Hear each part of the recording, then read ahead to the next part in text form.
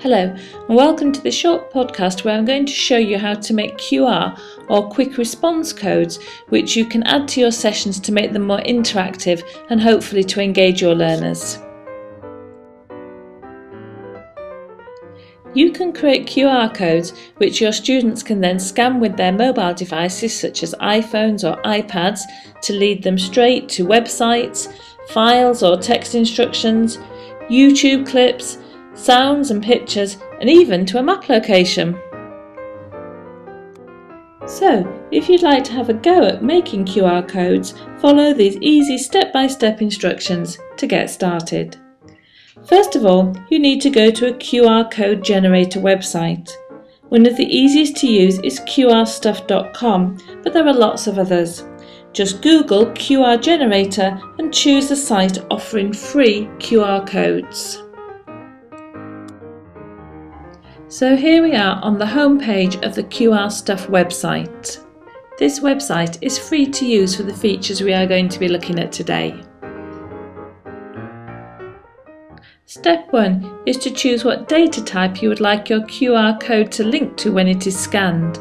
This could be a website, a YouTube video, a Google Maps location, a file that you've saved on Dropbox, or even a piece of plain text. I'm going to go ahead and choose to create a QR code that will link to a website URL. Step 2 is to click in the box underneath content and type in the URL you would like to link to. So in this case I'm going to link to www.bbc.co.uk. Next I'm going to select dynamic under the encoding options. In step 3, you can change the foreground colour of your QR code. So by default they're going to come out as black, but if you'd like to change the colour you can click in the colour box and change it. As you can see it's changing on the right there. Basically you can choose any colour that you would like. So now your QR code is ready, you need to click on download QR code, which is just underneath the picture of the code there. So click on that and it will download the code onto your computer. So once your QR code is downloaded, it's ready to use.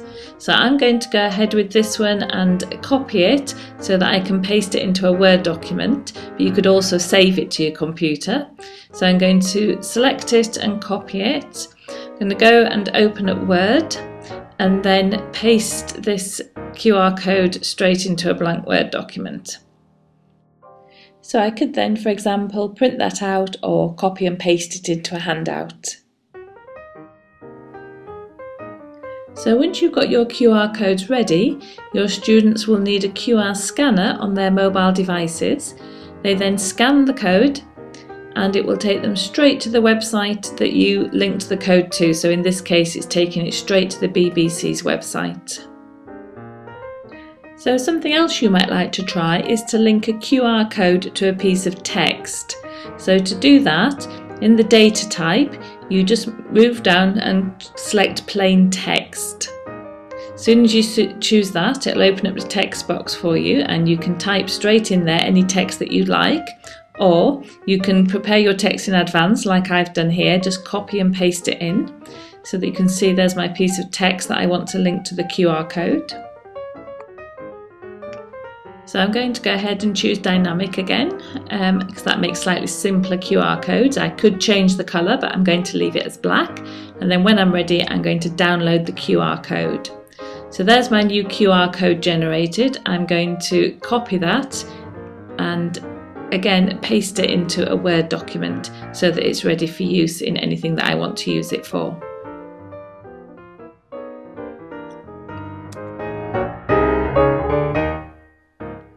So this time, when I scan the QR code with the QR scanner, it will come up with the piece of text that we saw typed in earlier. And there it is, my QR code links to my piece of text. So all you need to do is to get your students to download a free QR reader onto their smartphone or iPad and they can do that by going to the Apple App Store or by going to the Android App Stores. Um, download a free QR reader, there's lots to choose from. and then they're ready to go to start scanning your QR codes. If you'd like some ideas about how you can use QR codes within your lessons, please take a look at one of our other videos and thank you for watching.